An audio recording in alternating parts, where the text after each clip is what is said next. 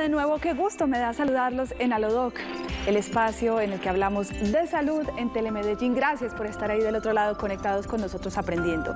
Este es un programa dedicado a toda la familia, porque precisamente planear la familia le permite a las parejas tener el número de hijos deseado, pero además decidir sobre ese intervalo entre los embarazos.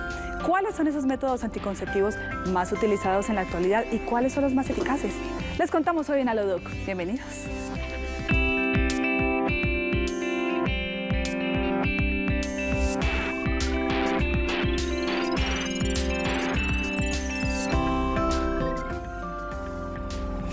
Y es que planear la familia es planear la vida, es planear la economía, es planear los sueños de todo un hogar, de una pareja. Trae tantas cosas y beneficiosas y productivas tener planeado cómo será nuestro futuro y cuántos hijos queremos tener, que por eso es importante hacer un programa como este, para aprender acerca de métodos de planificación. Y estamos con una especialista experta en el tema. Ella es la doctora Alida Uribe, ginecóloga, que nos acompaña de nuevo en Alodoc. Qué gusto, doctora, bienvenida. Hola, muchas gracias por la invitación.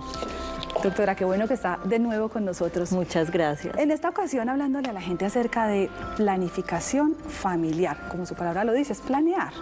¿Cuál es ese objetivo de planificación familiar? Como decías ahora, eh, planear nuestra vida, planear cuántos hijos vamos a tener, cuál va a ser el intervalo entre hijo e hijo. Y algo que la gente no sabe, la gente no ve, es evitar complicaciones como muerte materna, muerte de los niños, eh, complicaciones de las mamás ante embarazos no planeados, no deseados. Entonces esto es una estrategia salvadora de vida. Es salvadora de vida además, doctora, porque cuando decidimos interrumpir algún método anticonceptivo porque queremos ser papás, nos damos cuenta de muchos problemas que podemos estar teniendo.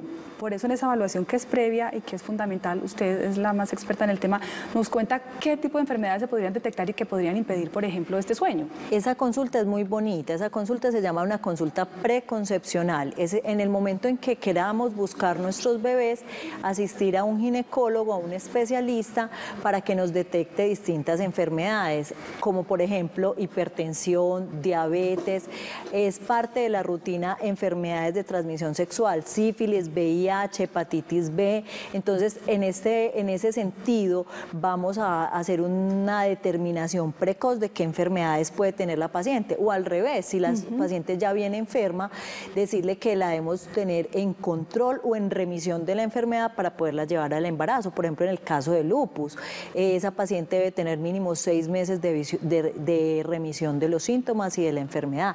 Y cada caso es individual, por eso se debe hacer una consulta. Fundamental esa consulta, doctora. Usted que a diario atiende tantas personas, eh, tantas mujeres, mm, podríamos decir de que desde qué edad estas mujeres están están comenzando esta preparación, si es que sí lo están haciendo, o qué ha visto usted en su consulta? Ahí son como dos puntos. Un punto es a qué edad iniciar los anticonceptivos. Debemos aproximarnos al ginecólogo para buscar un método ideal en el momento en que iniciemos o deseemos iniciar nuestra vida sexual. Y el otro momento es cuando queremos tener hijos. Entonces son dos puntos muy distintos. Es cuando inicio mi planificación o cuando me acerco para una consulta preconcepcional. Entonces, eh, lo ideal es si las mamás de las adolescentes me están escuchando, si las eh, adolescentes mismas nos están escuchando, la idea es que antes de iniciar su vida sexual se aproximen a un servicio de salud o donde su ginecólogo. Bueno, se toca un punto fundamental. Le estoy hablando como mamá que soy de una adolescente. ¿Cuál es esa ideal para llevar a nuestras niñas a la ginecóloga y decirles, bueno, mi niña está en esa etapa de transición, está comenzando a experimentar, ¿qué debo hacer? ¿Cuál es esa, primera recomendación? Bueno, a mí esa consulta me parece súper linda. La consulta de adolescentes es una consulta, a, uno como ginecóloga se las llevan más porque, ay, tiene un desarreglo hormonal, porque menstruan muy irregular, que le viene cada tres meses, pero yo aprovecho ese espacio para hablarles de enfermedades de transmisión sexual, hablarles de uso de condón, hablarles de que cuando deseen iniciar una vida sexual antes de tomar esa decisión, se acerquen a su ginecóloga. Yo les digo, no le diga a su mamá si quiere o si no quiere, dependiendo de la relación que tengan con ella, pero lo más importante es que no la lleven al ginecólogo. ¿Para qué? Para evitar un embarazo no planeado, no deseado en un adolescente, que eso es una tragedia social y familiar y es algo prevenible con métodos de planificación. pero si estamos hablando, doctora, de que por lo menos una niña que está en unos 14, 15 años y que ya tienes asesoría de un profesional, pueda comenzar o sus pastillas anticonceptivas o preferiblemente el condón? Eh, ¿Cuál sería ese método más recomendado? Bueno, entonces ahí son dos cosas. Eh, recordemos, eh, ya ahí vamos a empezar a hablar de planificación como tal. Si vamos a hablar de mm, los métodos, se, clasifican en métodos de corta o de larga duración. Si tenemos métodos de corta duración, eh, se clasifican dentro de ellos mismos en el error en la toma. Entonces es el uso ideal o el uso real. El uso ideal es la probabilidad de embarazo si me la tomo en forma perfecta, sin tener ningún olvido cada 24 horas. O el uso real es lo que vivimos todas las chicas, todas las mujeres en el día de día. Me fui a pasear, me fui a una finca, se me quedaron. Estoy cansada, me quedé dormida y no me la tomé, ¿cierto? Entonces, en esas chicas que apenas van a iniciar su vida sexual, lo ideal son los métodos de larga duración, son los métodos que llevamos puestos en el cuerpo, muy especialmente el implante subdérmico, que es el que se coloca en el brazo, es un procedimiento muy simple, consultorio, dura cinco minuticos, es fácil y ya vamos a la fija de que nuestra chiquita no se va a embarazar. Bueno, doctora, más adelante vamos a entrar detalladamente a mirar cada uno de ellos para que usted nos cuente también cuál es la recomendación y cuáles son los que más se están utilizando hoy en día. Yo le invito a que miremos muchos mitos que existen sobre este tema y que es importante también que usted nos diga que definitivamente sí son mitos. Vamos a mirar mirar. Estos son algunos de ellos. Las pastillas no engordan. Las pastillas engordan, mejor dicho, es el mito. Es el mito, generalmente no engordan. Eh, de hecho, hay muy, muy buenas moléculas en la actualidad que se llaman en medicina antiandrogénicas. Perfecto, otro de estos mitos es que cualquier pastilla funciona a cualquier mujer. Eh, no, eh, no cualquier pastilla funciona a cualquier mujer, hay que hacer una consulta para esto. Perfecto, seguimos revisando. Otro de los mitos de planificación es que producen cáncer. No, todo lo contrario, hay estudios súper lindos en prevención de cáncer de ovario, porque cuando nosotros inhibimos la ovulación disminuimos, disminuimos la probabilidad de cáncer de ovario. Seguimos revisando los mitos de planificación. También hay otras mujeres que dicen que produce acné. No, es el día a día de nosotros mandar métodos de planificación para controlar el acné, todo lo contrario. O sea que todo lo que hemos mencionado sí es realmente mito. Otro de estos también muy mencionados es que la semana de descanso no se está protegido. Falso, también está protegida las anticonceptivas vienen precisamente con una semana de descanso. Hay depende de la molécula que cojamos. Hay unas que son 24-4, hay otras que son 21-7 eh, y están protegidas en ese tiempo de descanso. Perfecto, doctora. Escuche este. Por un olvido no pasa nada muy grave. Por un olvido si pasa mucho, pasa un embarazo. Puede haber una cosa que llama un escape de ovulación en ese olvido. Al tomar pastillas no se pueden usar otros métodos. Lo ideal, todo lo contrario, es que usemos dos métodos. ¿Cuál? El método de planificación que deseemos y condón, porque es una doble protección y recordar siempre que los métodos de planificación nos evitan un embarazo, pero no nos evitan una enfermedad de transmisión sexual. Entonces siempre se debe usar condón, doble método. Perfecta recomendación, doctora. Seguimos entonces en nuestra conversación.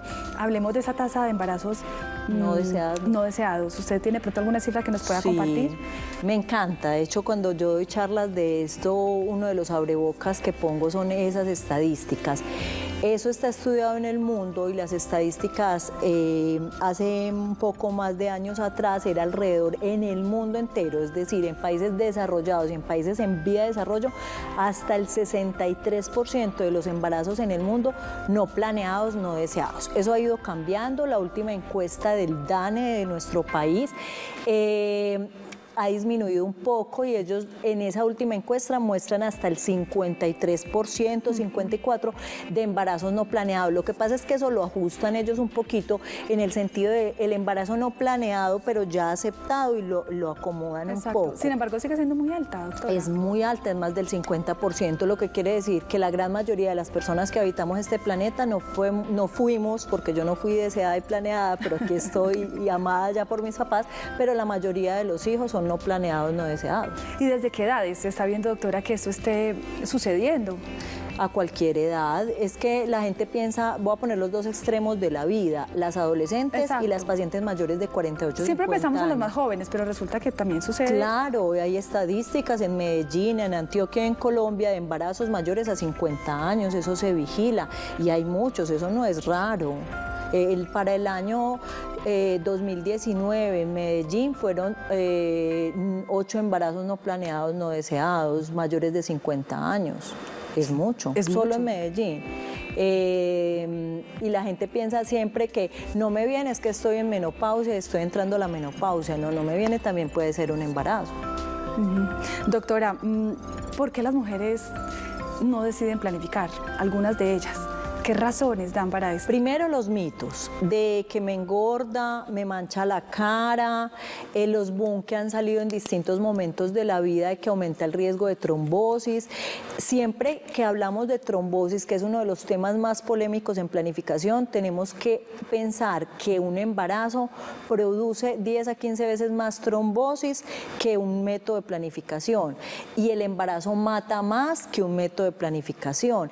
Entonces, eh, esos son los argumentos que dan las pacientes, que se manchan, que se engordan, que la trombosis, aunque es muy desconocida, cuando hay eh, boom en momentos de la vida, o simplemente que las hormonas intoxican, que, que las hormonas son malas, sabiendo que, como les explico, es una estrategia salvadora de vidas. Bueno, doctora, le invito entonces a que revisemos esos métodos anticonceptivos. Este es su tema, usted aquí es la especialista, yo simplemente voy a nombrar algunos y pues si los tenemos a la mano, maravilloso para que los televidentes también se familiaricen con ellos.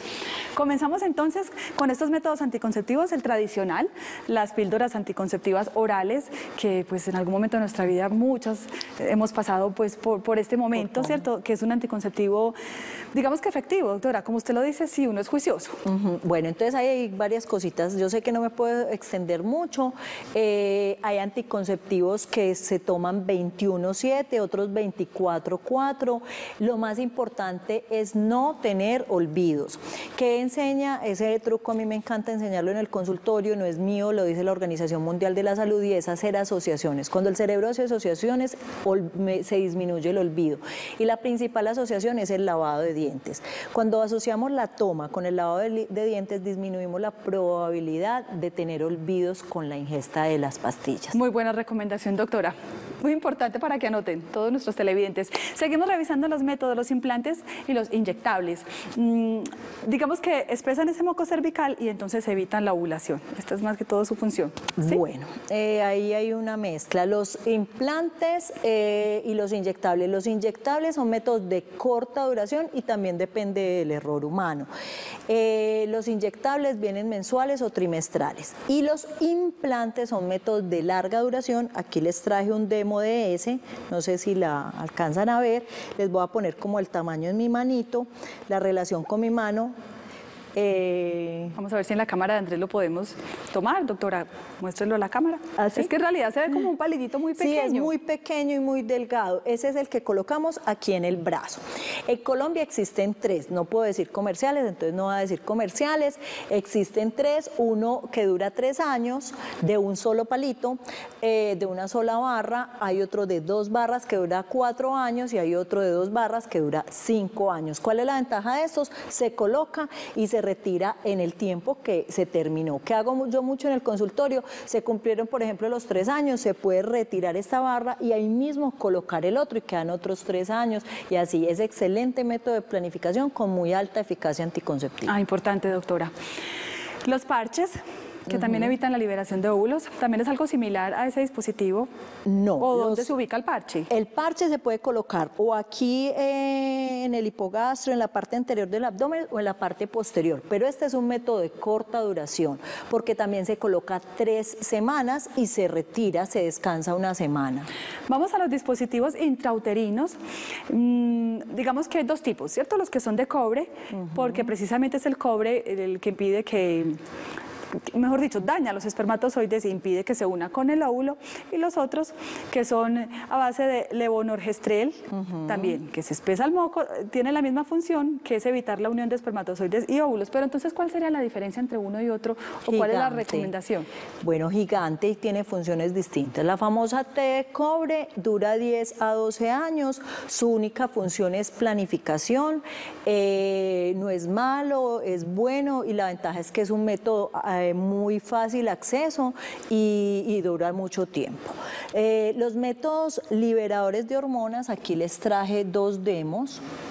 Se colocan eh, que aquí les traje también una pelvis, cómo se coloca y dónde se coloca. Es muy importante que no se confundan, esta es una pelvis, si estamos de pies es así, esta es la vagina, este es el útero. Entonces estos dispositivos se colocan dentro del útero, para que no piensen que eso va a quedar chuzando el pene o rozando, no, eso va a quedar aquí en esta cavidad que es por eh, arriba en el útero. Como me dijo un paciente, les puse una paciente, en el segundo piso, doctora, hagan de cuenta. En el segundo piso, que es esta parte, y la vagina no tiene nada que, nada que ver en ese espacio. ¿Cómo se coloca? Se introducen, hagan de cuenta que este es el cuello del útero, se coloca dentro del cuello del útero es, queda puesta, se corta la altura y miren, quedó el dispositivo puesto dentro del útero. De estos en Colombia, liberadores de hormonas, hay tres, uno que dura tres años, otro que dura cinco años y otro que dura también cinco años. Pero doctora, ¿para qué hicieron dos de cinco años? Porque hay uno que tiene más carga hormonal, otro que tiene menos carga hormonal, el de menos carga hormonal sirve para planificar solamente y el de más carga hormonal Sirve también para control de endometriosis, de miomas, de hemorragias uterinas anormales. Tiene muchas otras funciones en ginecología. Que son más beneficios que otra cosa, doctora. Claro. ¿Cierto? Para las mujeres. Disminuye cólicos, disminuye sangrados, da calidad de vida. Bien, seguimos revisando métodos anticonceptivos. Hablemos de los preservativos, tanto los masculinos como los femeninos. Digamos que esos son también mm, anticonceptivos, como usted los dice, a corto plazo o inmediatos, eh, pero que, que hoy en día todavía digamos, se hace mucha campaña para usarlos. Es muy importante saber y determinar que siempre, así usemos estos métodos, debemos usar el condón. El condón es muy mal método de planificación. Voy a volver a repetir, es muy mal método de planificación, pero es muy bueno y, y es lo único que hay, es lo que hay para evitar enfermedades de transmisión sexual, es su principal función. El, el error con eh, condón puede ir hasta el 70% de protección y un 30 a 25% de riesgo de embarazo. Es muy alto con solo condón. ¿Por qué? Porque hay tanto eh, error con el uso del condón. Primero, porque se lo ponen mal, porque se rompe, porque dejan cámaras de aire en la punta. Y lo otro, porque se lo ponen cuando no es. ¿Cómo así, doctora? Claro, tienen penetraciones y roces con las secreciones seminales iniciales que son ricas en espermatozoides y ahí está el embarazo. Y se lo colocan después de que ya tuvieron el roce y la fricción. Entonces, más que todo, para prevenir esas enfermedades de infección sexual, el condón, mucha atención. Seguimos revisando esterilización masculina cuando hablamos de la vasectomía, que es bastante efectiva. Es efectiva, eh, recuerden que no es inmediata, los conductos seminales quedan llenos de espermatozoides, se deben hacer un control de un espermograma para garantizar que esté negativo, porque si tienen vida sexual sin tener esa protección, se van a embarazar. Doctora, esos controles deben ser cada cuánto tiempo, porque hemos escuchado historias de hombres que se operan, pero, pero resulta que quedan mal operados, como llaman ellos, y pueden generar un embarazo. Dianita, ahí me corchaste porque no soy uróloga, soy ginecóloga, pero creo que es cada mes, como hasta después de tres meses, algo así, pero no tengo cada el dato exacto. Sí, lo ideal es que se lo hagan cada año porque existe una cosa que se llama recanalización, y es que los conductos se vuelvan a juntar y pueden embarazar. Pero el dato exacto cada cuánto ellos se deben hacer un espermograma, no tengo la menor idea porque yo no veo hombres. Perfecto, doctora, muy claro está el tema. La esterilización femenina, esa también, digamos que por estos días, doctora, se ha vuelto moda, no sé si me estoy equivocando en la apreciación, pero muchas mujeres están optando por hacerse no solamente la ligadura, sino que pues extraen alguna parte importante de su sistema reproductivo. Mm, ¿Esto a qué se debe? No, la gente ha tenido temor, ha incrementado su miedo a tener un hijo, un embarazo, los cambios de recursos, empleo, como tú tocabas en la parte inicial, y hay muchas pacientes que desean hacerse la ligadura de trompas. Muchas preguntan cómo se hace. Eh, es que, doctor, antes de que uno se las haga, córteme, quémeme, lígueme. La técnica más usada es el pomeroy. ¿Cómo es el pomeroy? Uno coge una asa de la trompita, la toma, la liga, la amarra, la corta y la quema, es decir, hacemos todo eso. Doctora, está tan interesante todo eso que usted nos está explicando y estoy segura que los televidentes también están ahí enganchados. Una pausita breve, ya regresamos a lo doc.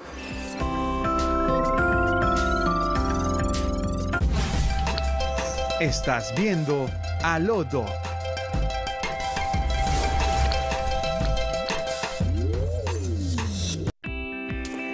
Regresamos, gracias por continuar ahí conectados. Este tema está bastante interesante y por eso vamos a seguir, doctora, revisando estos métodos anticonceptivos. Eh, ¿Qué pasa cuando hay lactancia? Hay unos días, digamos, en que las madres se salvan. Sí, eh, la planificación en la lactancia es muy chévere que lo, sepan que existe, pero debe tener muchas condiciones. Por causas de tiempo no me puedo poner a explicarlas, pero debe tener un montón de condiciones tanto en la mamá, en el bebé, o sea, en la ingesta de leche exclusiva materna, etcétera, etcétera, pero sí se puede dar pero no, se, no deben confiarse, mejor no. No deben confiarse. el coito interrumpido también, digamos que pues parejas pueden optar por este método, aunque es poco efectivo. El coito interrupto es parecido a lo que les explicaba el condón. Tienen eh, ya los conductos seminal, líquido seminal, la secreción y la lubricación, que es el líquido seminal, es lleno de espermatozoides, por ende se pueden embarazar. Y los métodos del ritmo, el método de los dos días, el método sintotérmico, todos estos que muchas mujeres sí acuden a ellos porque prefieren algo más natural. Sin embargo, ¿qué tan efectivo puede ser? Doctora, son más riesgosos. Esos métodos son muy riesgosos y va a depender de las características del cuerpo, el moco y la temperatura para poder eh, tener relaciones sexuales. No es cuando uno desee. Y el otro eh, es el anillo. En Colombia ya hay tres anillos. Esto como funciona, se coloca dentro de la vagina, se coloca en esta parte, se desliza, se deja puestecito acá en la vagina y dura puesto en la vagina tres semanas, como si fuera un anticonceptivo oral. Se descansa una semana y vuelve a colocarse tres semanas eh, es el anillo. Eh, que es lo bueno? Que no te tienen que estar tomando una pastilla, que no depende del olvido del día a día, pero sí puede depender del olvido de que se lo retiren a las tres semanas. Esto no es un método de larga duración, es un método de corta duración, solo dura tres semanas. su ventaja es que es muy cómodo y en Colombia ya existen tres marcas de anillos. Bueno, doctora, le invito también a contestar inquietudes de nuestros televidentes que nos envían a lo y están esperando su respuesta. Adelante, escuchamos en la consulta.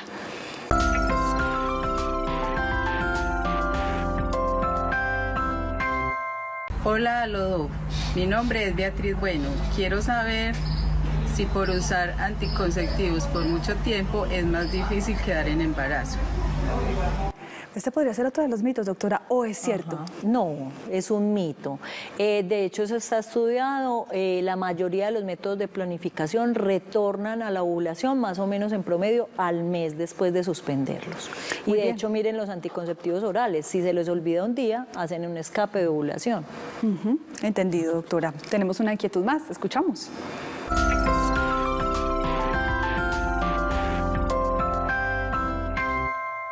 Hola Alodoc, soy Lina Restrepo y me gustaría saber los efectos secundarios al tomar las pastillas anticonceptivas.